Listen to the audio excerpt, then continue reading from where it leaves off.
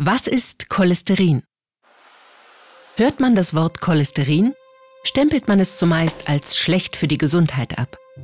Zu viel davon kann krank machen, ja. Aber ganz ohne Cholesterin geht es auch nicht. Biologisch gesehen ist Cholesterin ein fettähnlicher Stoff, den der Körper braucht, um Hormone und Gallensäure zu bilden. Außerdem ist es ein wichtiger Baustein für den Aufbau von Körperzellen. Dafür stellt der Körper das Cholesterin zu 90 Prozent selbst her, und zwar hauptsächlich in der Leber. Cholesterin ist auch in Lebensmitteln enthalten, wie zum Beispiel Milchprodukten oder Wurst. Aber nur 10 Prozent unseres Cholesterins müssen wir über die Nahrung aufnehmen. Und hier liegt die Gefahr. Weil wir dem Körper schnell mal mehr Cholesterin und andere Fette zuführen, als er eigentlich von außen braucht. Dadurch erhöhen sich die Cholesterinwerte im Blut was uns krank machen kann. Cholesterin benötigt Eiweiße als Transportmittel, weil es nicht allein im Blut vorankommt. Die Verbindung aus Cholesterin, Eiweiß und weiteren Fetten nennt man Lipoprotein.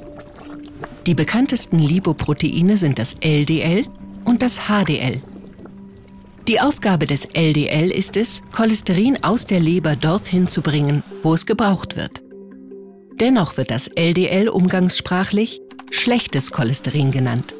Ist zu viel davon im Blut, kann es von den Zellen nicht mehr aufgenommen werden. Es lagert sich in den Wänden der Blutgefäße ab, wodurch diese sich nach und nach verengen. Man nennt das Arteriosklerose. Im schlimmsten Fall können Ablagerungen aufbrechen. Dabei können Blutgerinnsel entstehen. Verstopft ein Blutgerinnsel ein Blutgefäß im Gehirn, kommt es zum Schlaganfall. Ist ein Blutgefäß im Herzen betroffen, kommt es zum Herzinfarkt. Aber es gibt auch gutes Cholesterin, das HDL. Es hilft, überschüssiges Cholesterin aus dem Blut und den Blutgefäßwänden zu entfernen und zurück in die Leber zu führen, wo es zum Beispiel in Gallensäure umgewandelt und zum Teil ausgeschieden wird.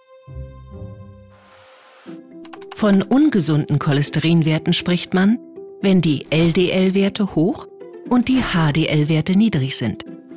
Bei gesunden Cholesterinwerten ist es genau umgekehrt. Zu gesunden Cholesterinwerten kann zum Beispiel eine cholesterinarme Ernährung mit wenig tierischen Fetten beitragen. Aber auch sportliche Aktivitäten können sich positiv auswirken. Wissen ist gesund.